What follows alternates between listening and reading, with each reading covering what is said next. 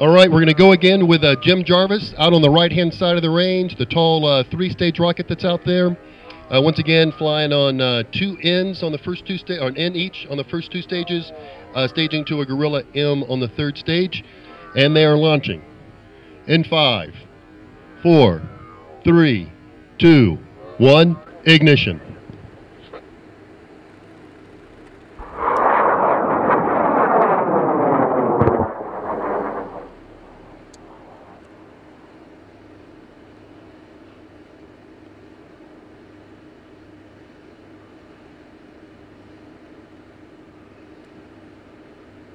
It goes.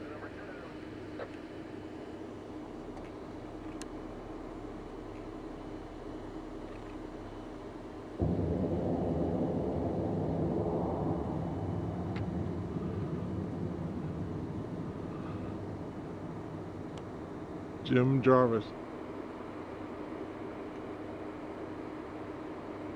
It had active stabilization in it.